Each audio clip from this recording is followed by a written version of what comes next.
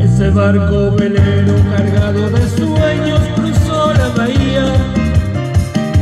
Me dejó a aquella tarde agitando el pañuelo, sentado en la orilla.